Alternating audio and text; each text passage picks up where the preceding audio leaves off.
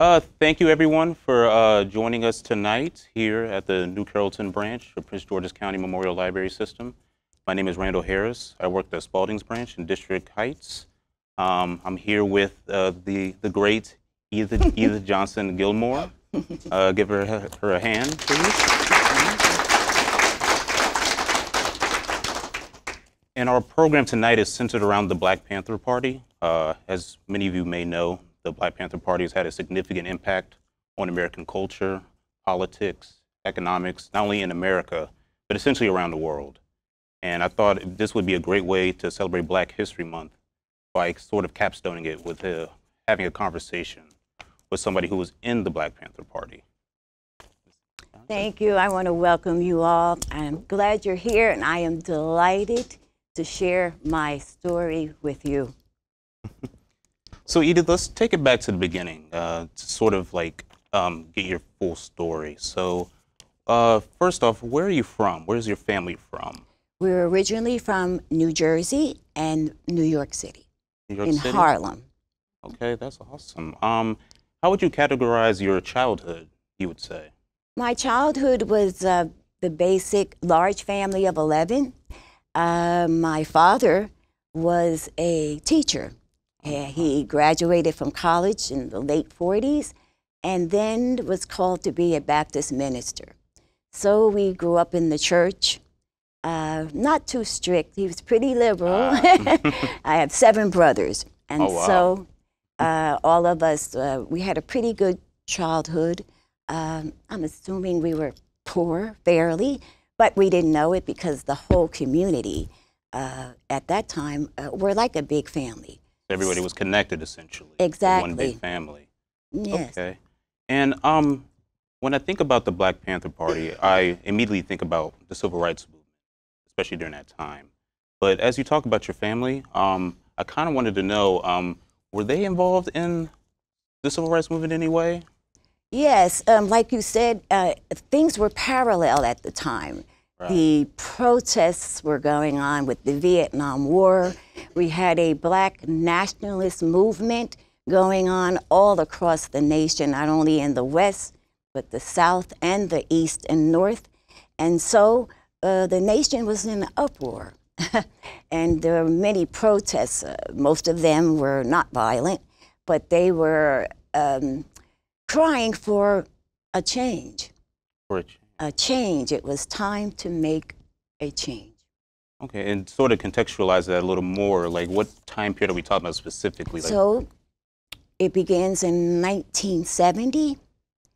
Uh, at that time, uh, there was a large movement uh, for African American communities uh, to demand the equal rights that we were awarded. Uh, many college universities, many communities, uh, many families and organizations had come together to empower the black community, and therefore uh, we wanted and expected change. We believed it was going to be a nationwide revolution. That is very, very impressive. And um, I guess we can get right into it. So, at what age did you actually join Black Panther Party? It was in 1970, my junior year in high school. One of my brothers had just come back from the Vietnam War. Wow. He was 21 years old, uh, drafted at 19, so we were glad to see him home. Um, he sat and told my father stories about the atrocities of the war uh, to mankind, and uh, he was wanting to do something um, to let the nation know that this is something that young men, whether black or white, should not be participating in. So that junior year, he said to my dad, Can I take Edie to California? Oh my goodness. And we went that very first summer of my junior year. We had little money. We didn't know many people, but somehow he found the family that took us in for the summer. Wow. That is incredible. Um, and when I think about that, about you just you joining your brother at the age of 16, you said? Yes. Um, what did your uh, your parents think about that? My dad was for it. He, he knew that I had been previously uh, interested in a movement of sorts.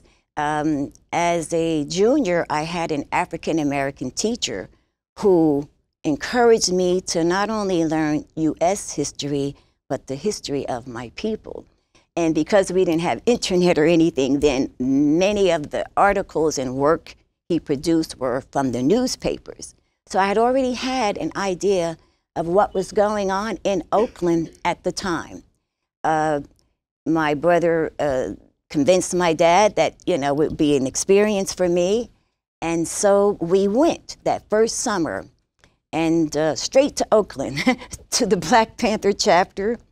and I was immediately um, thrown into um, wonderful experiences, um, education.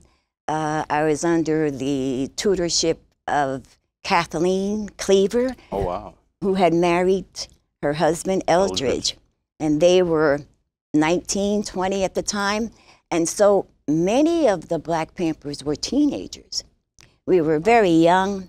Uh, a great number were women. Oh, And so we had a lot of work to do.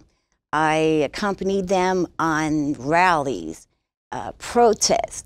They even, because it was legal in Oakland at the time to carry arms, once the party decided to take that action, we went to the downtown areas and actually walked up and down the street, accompanying the Oakland police to make sure that they were not uh, mistreating or abusing uh, anyone of color. And so they were armed, and I accompanied them, and it was exciting and empowering uh, to be a part of that. that is incredible. And that last point you said, which is really, really important when you think about uh, carrying arms in public. At the time, I believe Ronald Reagan was the, the Governor, governor, of that is California. correct. And when these things became known to the public, like the, the famous picture that people may have seen, Yes, from the Capitol the steps. Capitol steps, and he immediately revoked the law. That is allowing correct. that. So I think it's also important to really think about how laws are different for other people when you actually put them into practice. Um, so you're joining the Panthers. Uh, you're young. You're excited. You're seeing all this energy. You're in Oakland, the home of the party with the Bobby Seales and the Huey P. Newtons of the Yes. world. Um, what were some of the specific things that you were doing early on? So that second year of high school, uh, from that experience that both my brother and I uh, really was excited about, he asked one more time, "Can I go to Oakland with him?" And we made the second trip, and then immediately I joined the Black Panther Party. Um, we were, like I said, young, and not only was it uh, pertaining to self defense or equal rights, it was also, they wanted to serve the black community. Right. And so I was a part of cooking in the basement of churches or using a kitchen in the civic center, even people's homes where we would cook hearty breakfasts, grits and eggs, bacon and mm. turkey, and then have it set up for the elementary schools and up into junior high. Uh, at some point, it reached uh, over 20,000 breakfasts Wow. that we were able to provide um, for the young black kids that were uh, attending school. Oh wow, that is very very impressive. What I know is that was one of the first instances of that of people actually providing free breakfast That's for right. kids in inner city, and I believe you have a image of that is right yes, here. that is correct. It was uh, very important, uh, and many of the communities uh, supported us, not only black, but white, and part of the government who saw the need uh, for that breakfast to continue. And then at some point, um, we began to serve them in many facets, uh, from car trunks to vans. Uh, at the time, we had uh, borrowed and purchased medical equipment.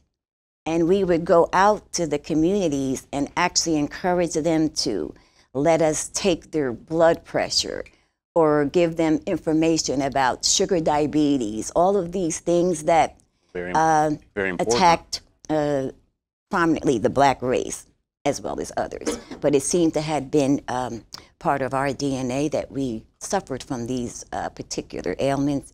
And so uh, that was a big hit. Um, many of them were lower class, some didn't have jobs. And so we provided free service uh, in the medical field for them. And um, it was good. That was good. That is really, really impressive. Yeah. and considering how impactful and how much the community really, really uh, appreciated what you guys were doing, on the other end, what was some of the pushback that you've gotten, that the group got for doing these things? Because it's not always uh, positive. That's things out there, you correct. know. Unfortunately, uh, like one of those photos that went not only around the nation but around the world of the Bobby and Huey being uh, armed, um, we were getting some negative uh, feedback um, about our position and what we felt about. They had actually developed a 10 point system that they borrowed from uh, continent of Africa and Asia, where they had visited. Both of them were students at Merritt College, and they were very intelligent and strong-willed uh, young men, and they had a vision for the You're, you're talking about Bobby and Bobby Seale and Huey P. Newton. Exactly. That is impressive. Um, did you know either one of them, or did you ever come across those two I- at any point? Huey P. Newton. Oh, wow. Um, I actually uh, worked with him. Um, he was impressed about my writing, and so I was able to uh, put some pamphlets together Oh, for recruitment. And we my. would go out into the streets and try to recruit young men and women who wanted to be a part of it. Uh, of course, we were teenagers, and like teenagers today, we wanted action like yesterday. and so we were uh, pushed and motivated and fearless when it came to um educating the young black youth on our history and purpose. wow, that's really impressive. Um, considering the kind of uh, impact that you had and how Huey P. Newton really uh, loved your work, I did want to touch on something I think is really, really important when we're talking about movements is um, the gender uh, dynamics within the party. Uh, I wanted to know if you wanted to touch on that a bit. Yes, um, like I had said, there were quite a few women, uh, young sisters uh, involved uh, in the Panther movement, and um, our skills were very much needed. Uh, the fellas took more of a protective role uh, when it came to us, uh, you know, uh, going into the streets and uh, into the communities and the valleys of uh, San Diego and Oakland. And uh, because at the time still the, it was legal to have the arms, they took a more protective stance. And it was the young women who performed uh, many of the duties. Um, we were responsible for uh, so much of the uh, information, the pamphlets, the banners, uh, working with the newspaper. Oh, wow, really important stuff. you Yeah, know, That was our masses. role. That is very impressive. Um, so were these like the the early to mid years you were doing these things? Yes, these were early to mid years. And uh, though I stayed uh, quite a few months after I joined in my senior year, my dad said I had to come home. Oh, and so my brother didn't return with me, he stayed. And so a friend drove me home, and I started classes at Rutgers University Wow. and I was pretty busy with that and the student organizations. I was coming home pretty late. So one day my father was waiting at the door one evening and he said, You know, what are you doing? And so I sat and talked with him. And he said to me, I'll never forget, if you're going to do something that you're committed at, then use the natural talent that you were given, which is literacy and service.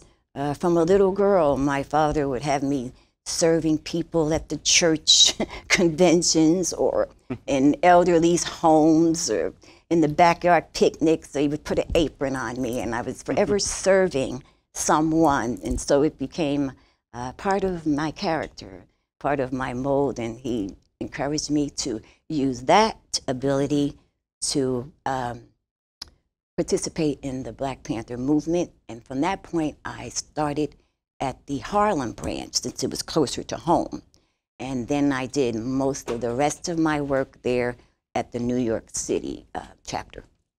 Oh, wow, that is very impressive. Um, considering that you had to go all the way back to the East Coast, um, how did did you keep in contact with people that you knew on the West Coast at all? Yes, I did. We uh, we kept in contact through letters. Through they actually would send uh, to my home newspapers because we had developed a Black Panther newspaper. Uh, I was able to keep up with everything that was going on, and uh, of course, Bobby and Huey both had come to New York. At that point in the late '70s, the Panther movement had spread throughout the All over. nation, all over, not just Oakland or San Diego. People were calling from North Carolina, Philadelphia, Chicago, Wow. New Jersey. They wanted to be a part of the movement. The young people thought it was important and they wanted to be committed. And so it was um, a lot of work to do, but um, I was able to uh, continue my work from the New York chapter. Oh, um, so how long did you stay uh, at the New York branch? Like, how did that? For the rest of the duration, it was about four years that I uh, stayed uh, in the Panther movement as a worker. Uh, my father, in his own right, was an activist of sorts. All right, I wanted to get to that. Yeah. Yes. And so um, I knew um, how important it was to be committed, uh, to stay with what you were doing Right. wholeheartedly. And so the remainder of my time as a Panther, which I still am, Oh. I did at the New York. Good chapter. Um, and speaking on the still being a member, I kind of want to get your take on what does the party look like now? Do you think, in a Um, macro sense? It's different. Different? It's very different. Um, I am aware of the so-called new uh, party of defense. I am familiar uh, with them, but there are quite a number of us left over from the original, um, and we are committed to maintaining that status that we had, the purpose and the mission, uh, those 10 points that uh, they established very early on were not only something to learn or remember, but it was a way to live. right. And so it incorporates into your very being, and there's no separating it from yourself. and so that stayed with me, and there are uh, some members that I am in contact with. contact with? Yes, that still uh, inspire me, and uh, and we do a little something. Um, so to to wrap up, um, I wanted to get to this a little bit earlier, but like you said, the party how it was originally, and the new Black Panther Party came along, sort of in the middle of that. Would you say that there was sort of like a uh, like a fracturing, as you will? Because I, from what I understand, that uh, Huey P. Newton he had went to jail unfortunately, and, and hmm things had gotten worse for him, and then ultimately he was killed. That's Um, correct. so how uh, would you characterize that period? Uh, So that period was um, frightening, to be honest. Um, by this time, the Panther Party had quite a lot of power. Um, they were said to be a threat to the government and to the nation. And unfortunately, uh, it resulted in many killings. Um, some of us, my people that I worked with and met, were killed off, uh, innocent black lives. Um, presumably innocent, um, were taken away because of the threat um, that the nation and the government and the FBI had considered us, and they chose uh, opportunities to kill many of the Panthers off. And so it was a devastating period in that early 70s where so many of us had been killed. But um, there were so many young people. Um, they were hoping that the 16, 17 year old group would come and sort of take the mantle uh, to continue on with uh, the mission that they had established. And that was our goal, and we were hoping uh, to do that. And unfortunately, the young man, little Bobby Hutton, as we call him, he had he was our first recruit, 16 years old, smart. uh, he was great. He did in the two years that he lived as a Panther, he did uh, more for um, the black community than some people in a lifetime.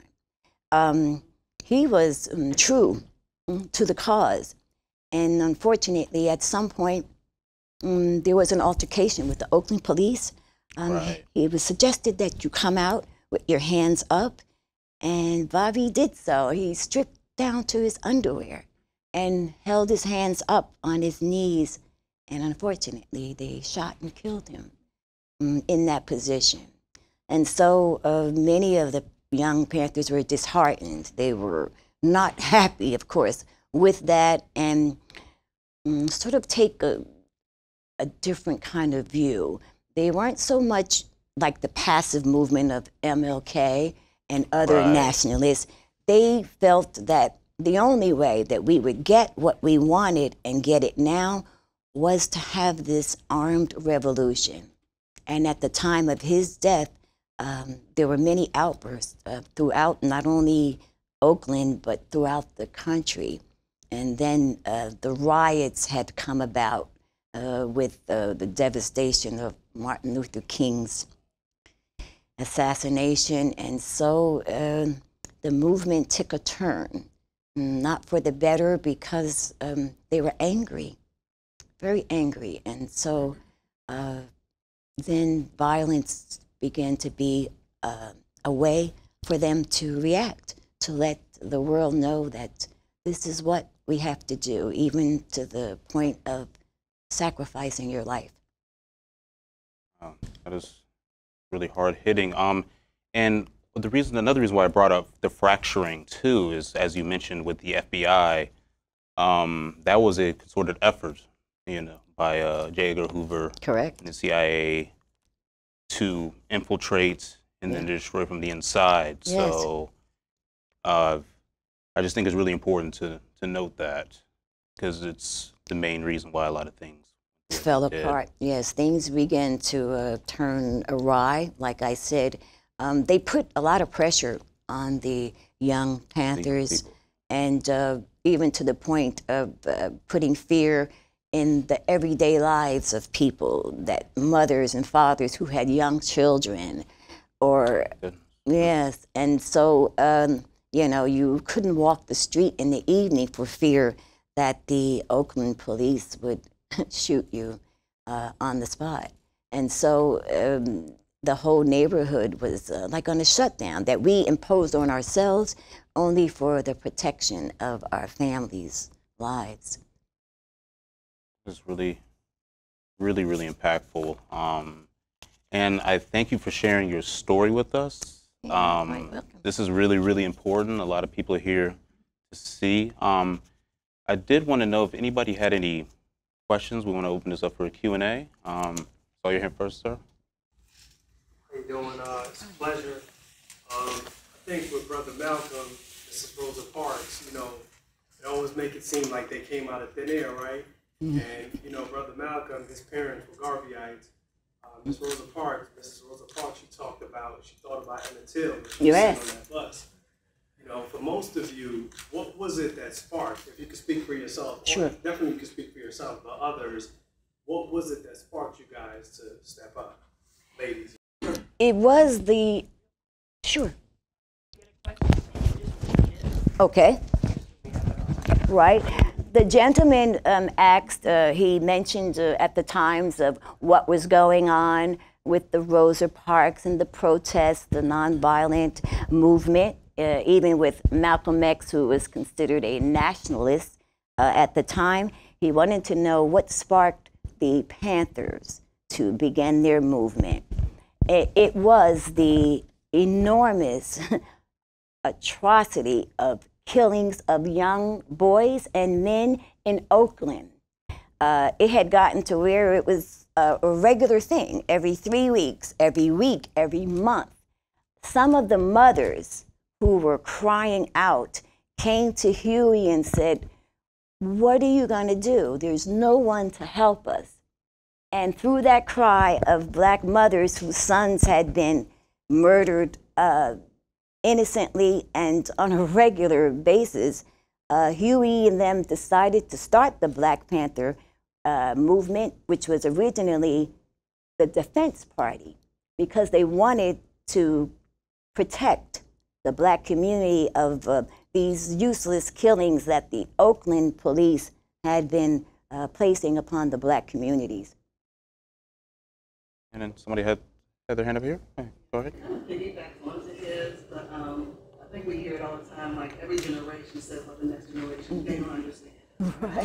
They aren't as passionate as we are. Right. And hearing that the young, the, the Black Panther Party was so young, we might call Yes. them in our Right. eyes. Absolutely. Um, what are your thoughts on what, you know, someone, you know, older could do to really ignite that way for people, you know, younger to be a part of something later? And, and vice versa, what can they do to kind of engage with the older?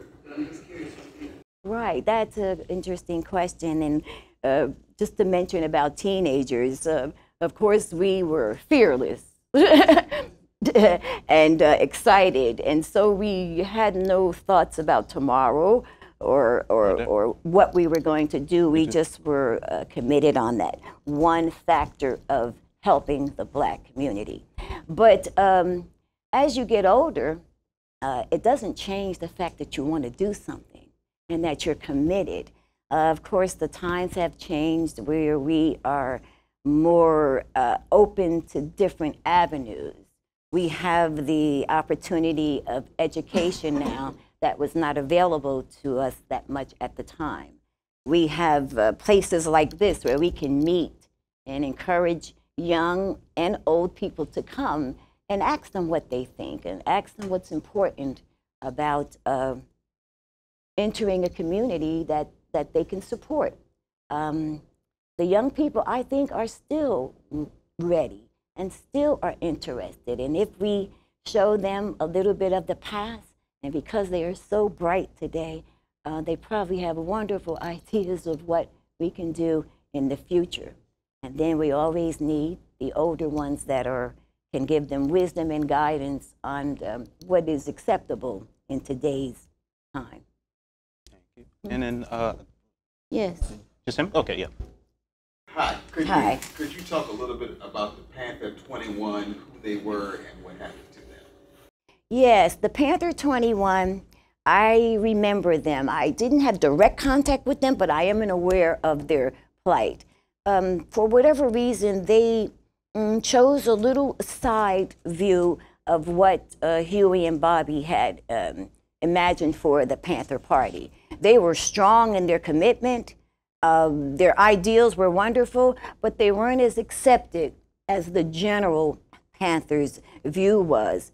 And I believe um, that it didn't last very long, that when they broke up, some of them even were imprisoned for doing illegal things that were not acceptable in society. And so the, the uh, mass of the Panthers didn't want that. They didn't want to break any laws. They didn't want to do anything that would be harmful or, or against the, these 10 point views that they had, which was sticking together, empowering the community, learning your education, um, a style of life that was not only healthful mentally, but spiritually. And so the 21 group had veered a little uh, from that, the essence of that mission, and therefore they were sort of separated And unfortunately, uh, they were dismantled, and like I said, some of them had gone to prison. And, sir? I want to thank you very much for wearing your period Yes, you noticed? Because You and I, you and I are sort of the same vintage, right? Right, that's I used to wear bell bottoms. That's right. But but I, I grew up in, outside of Philly, Mm-hmm. and I participated in rallies at various uh, colleges and Right. and, and what was fascinating to me was how um, the war yes, was bringing together all disparate groups of people together. And you had different races all agreeing about right. Different things. Different And they were coming together, right? Mhm. And you used the term revolution, and you used the term movement. Right. And that's what everybody thought about at the time. That's what And we now thought. you use those terms, you sort of think, well, that's What? crazy. what kind of revolution are you talking right. But, I mean, how did you, I mean, in, how long were you really active with the Panthers? I was active uh, a little over four years, wholeheartedly busy day and night. And uh, like you mentioned, uh, we didn't just think it was a movement, we were preparing for a revolution. We thought that the masses of black people would come together and we would demand the changes uh, socially, economically, uh, business wise. We wanted to empower every black community on one level with no questions asked and no other exceptions. That was what we believed was going to happen. We were preparing for that um, with the arms and practicing uh, to defend our families. We would go on outings two and three days with food just in case we had to run and uh, be safe. And so we were convinced that uh, this had to happen and should happen. And uh, that was our life. It was real. Absolutely. Uh, uh, you, sir, and then you. Yeah, you uh, share what you, how you feel or think about the condition of black people in the country. That's some kind of question. but uh, just a short perspective. Um, to be honest, I think we're still okay. I think we're still together. Um, but because the times have changed socially and economically, we're sort of branched out now. You know, we live where we couldn't live before. You can buy a home in, you know, Bowie where maybe you couldn't 40 or 50 years ago. And at the time when I was growing up in the Panthers, the black communities were only in certain areas. So every black person lived in that community. And then in Chicago, every black person lived in the same black community. We weren't branched out like we are now. And so uh, we were able to know what's going on with each other, stick together, help the families. Uh, my dad was a preacher, like I said, but he was an activist in his own right. And I remember growing up, you know, people would be on my dad's porch, you know, can you give me a day's work so I can feed my family? Uh, or I would come home from my aunt's house, there'd be two little girls in my sister's my bed. I was like, what the? Yeah. And my father would explain that their house was on fire, nine kids, everybody was separated, and he would take in uh, children so that we can help them until the parents were able to uh, get themselves together. Or, you know, the knocking on the door, four o'clock in the morning, a mother crying about her son uh, that was picked up by the police. My dad would go to the courthouse and the precinct, and he would come home with their kid. And so the people wanted that connection. We needed that. There was no other help. Um, so the difference between then and now is a lot to do with how we are branched out in our communities, how we live, you know, pretty much wherever we want to, but they're not centered in one area. So it's not the community like it was uh, in the 1970s. You know, we have to call each other to get together or meet at a particular place. At that time, you just come out your front door and there's everybody that you knew. And so that changes the uh, demographic of, of community, I think. Sir? Yes. My name is Ruben Scott. Hi, I'm a Black Panther. nice to meet you.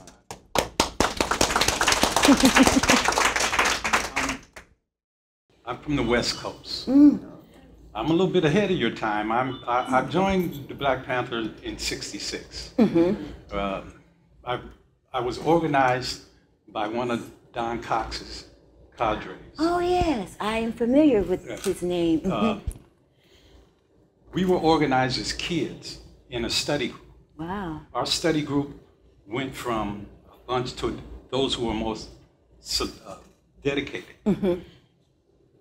We were organized as an urban guerrilla unit. Wow. This, you spoke up the little bit about the split in the party. Mm-hmm. The split in the party was between the Algiers faction mm. and the Oakland faction, mm-hmm. Oakland Berkeley faction. This split was basically between those who were for armed struggle and mm. those who were not, who were Right. basically saying we weren't ready for armed struggle. Right. Um, me, myself, I ended up in jail. I did mm. do prison time.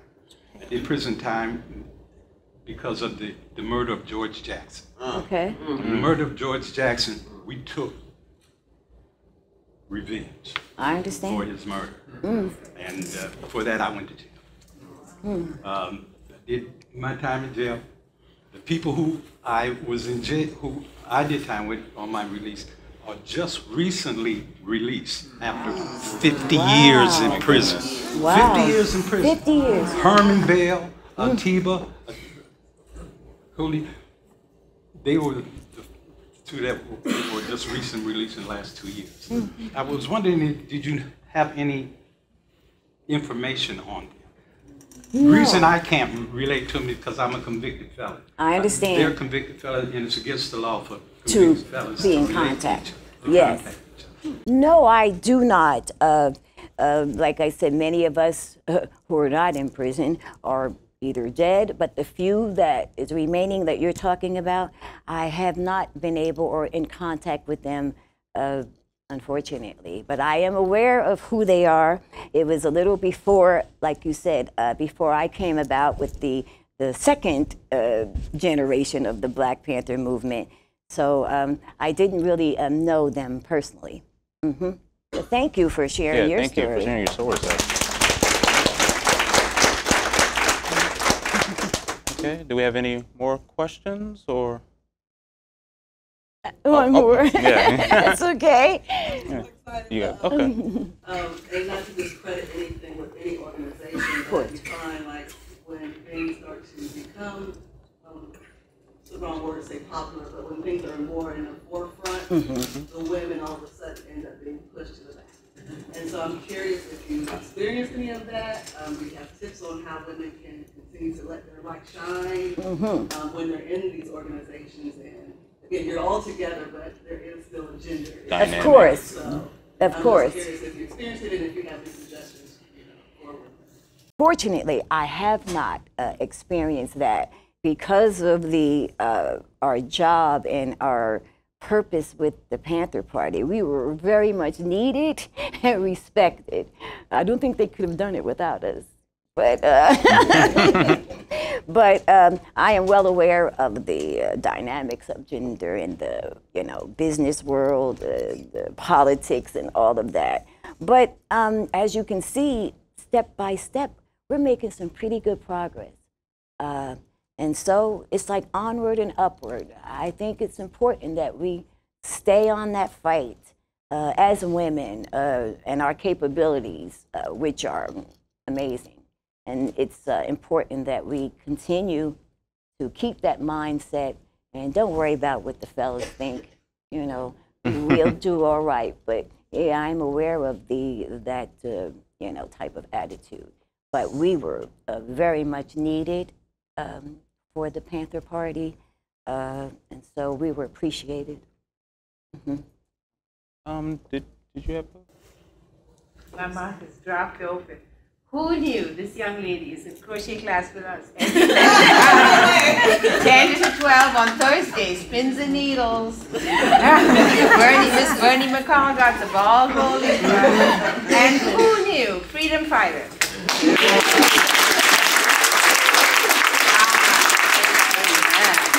One more part to my question. Oh, I'm sorry. Yeah, Uh. Senior moment, I might have forgotten you might have but I want to ask, is there one person's name that you can say for this part of the whole thing? And how was the group funded? Like I said, senior moment, maybe you mentioned already. Yeah, well, of course, the co-chair uh, were Huey P. Newton and Bobby Seale. Bobby Seale. They were the two uh, African American men from Merritt College who formed the Black Panther Defense Party at the time. Uh, there were women I had mentioned, um, Elaine uh, and Eldridge Cleaver, and uh, those were the co-chairs, you know, right from the beginning, uh, the basis of the program. And then it branched out to, uh, you know, Stokely Carmichael. There are many uh, people who uh, participated and were fundamental um, in the uh, formation of the Panther Party and the Black movement. Uh, Carmichael always said, uh, it's time to put to sleep uh, the term Negro, and he came up with black people, black consciousness. It was even in our arts, in our literature, in our music. James Brown with Say It Loud, I'm black and I'm proud. Or uh, Marvin Gaye with What's Going On, you know, talking about the times in the Vietnam War. So it was in everything that we did, and it showed um, there were much support and many people um, who uh, helped us along the way. The funding was um, mostly uh, businesses who were um, interested in our cause and believed in it. There were even some government um, uh, status that we had for some of the programs, the breakfasts, and the medical uh, needs. They were given to us by uh, the state and some of the um, federal available um, monies that we have for those programs. And then a lot of it were just poor people giving what they had. You're welcome, ma'am. Hey, it's my cousin Tracy. Hey. So I had a question, but I wanted to make a comment. When you said who knew, I've known her. I'm 60. I've known her all my life, and I didn't know. but the importance of that is sit down with your family members and talk to them, and get that historical reference, mm-hmm. either in writing or a tape, before it's too late. My question was, people have sacrificed their lives hmm. in prison, people have died, people have had their names and their reputation tarnished. Was there ever any regret that you have, not that you joined, or that you would have done something differently? No. I. That's why I said that you would have done it differently, because I know you have regrets about joining. Right. No, not one thing. At that time, uh, it was the most exciting thing I've ever uh, been involved in. It was uh, just amazing, and that part of me still exists. I can't separate that time from me today, and it formed uh, the character that I have become. So, no, I would not have uh, done it any differently. Any other questions? Anyone else? Can I get one more? Oh yeah, absolutely. Yeah. I'm I'm greedy, sorry, this is my dirty. That's okay. Um, So one of the most important things you said was that the party got, you know, the ten-point plan from Africa and Asia. yes, Um, immigration is a black issue. The media will have you believe it's at the border, but most people who come here actually look like everyone in this room. that's correct. And um, Stokely Carmichael is a Trinidadian brother who Right. came up with the term Black Panther. That's right. Marcus Garvey Jamaican, Malcolm X Grenadian descent. Like, put that to rest that there's some sort of division because, oh, you're a black immigrant. You're not really black. Kamala Harris is parents are Jamaican. You know, it's like, put that to rest in this room now. Like, we're literally just the difference between a point on the slave ship. Right? Like, oh, you get off here, you get off there. We're black Yeah. people. Absolutely. people of color. yeah. Um. Oh, yeah. Go right ahead. The panther animal itself, the uh, panther who represents fearlessness and, of course, the color black. And uh, it was, uh, they liked it. They were interested in um finding something that would represent how they felt. And so they chose the Black Panther, the animal, to, uh, yeah. Oh, yeah. okay. Where did all the great photographs come from? Oh, thank you. That that's from me. Yes, that's my dad over there, Right there. His name? Jeremiah Johnson, Reverend Jeremiah Johnson. That's my father, who was a great inspiration and uh, support for everything that I did. Who's And that? then the other ones are just phases of me that I vaguely remember being like that. But yeah, so I just thought, you know, that would be nice. All the rest, these from your own? Yes, these are from uh, my scrapbook, and then some I researched here at work and thought that they would be uh, interesting uh, to share uh, with some of you people because, you know, the image of the Black Panther is not just the guns and the force, it is community work and the respect and love for Black people. And so they represent some of the things that we did um, as a group um, to help uh, serve that community. So you had a que- yep. Um, I just wanted to clarify something. Somebody asked about where the Black Panther symbol came from. In 1965, there was an organization in Lowndes County, Alabama. Wow. Uh, they were black people. Uh, Lowndes County was predominantly black county, but nobody in the county could vote. So they came together and formed their own political party. Wow. And they used as the symbol of, at the time, I think the Republican Party was using a chicken. So, so this, this organization decided to come up with a symbol because a lot of the people were not literate. Right. So when they, when they attempted to vote, they came up with a symbol, and their symbol was the Black Panther. Wow. So I think Huey, Huey Newton and Bobby Seale knew about them. I'm sure. And they, they decided to. To, to borrow it, yes, because of what it represented. I heard that story, uh, mm, not quite about where it was, but that they had seen it somewhere and uh, liked it, and so uh, used it for a representation for Black Power. Thank you. Any more uh, questions? Yes, ma'am. for your service. Yes. Thank you.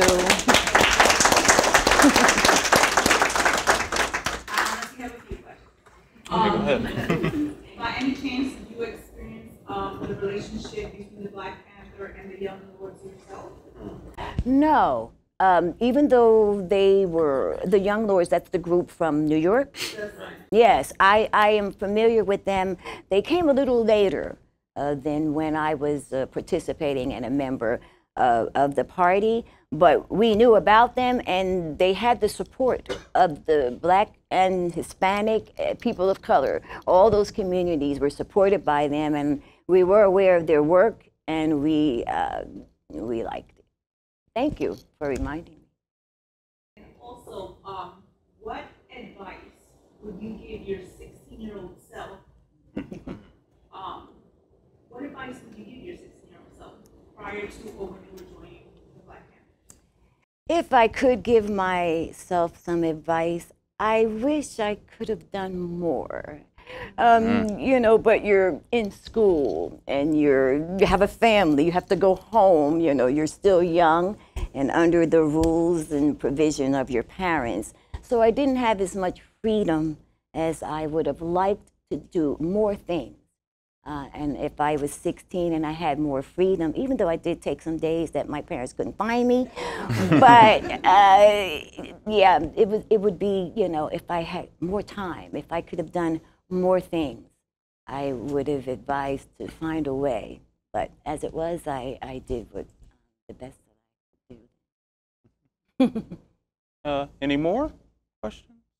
Um, so I think that this is a really, really, really important um, conversation to have. To have something that's documented, uh, as Tracy brought up earlier. Uh, if you have anybody in your family older that's still living, try to document what they say that happened in past. I did that with my own uh, grandmother before she passed, and I learned so many stories that would have been lost if I had not asked her months before she died.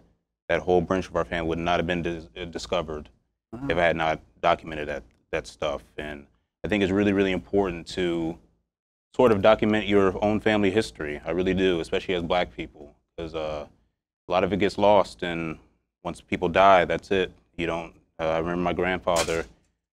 He had a picture of his great great grandmother who was born in slavery, and I never got to ask him about her. And he passed away a few weeks later, and it's just been a brick wall. So uh, that's a little beside the point, but it's still I think it's really really important to document important things in our history, the things that we do, our lineage, everything. I think it's very very important for us all to do that. So.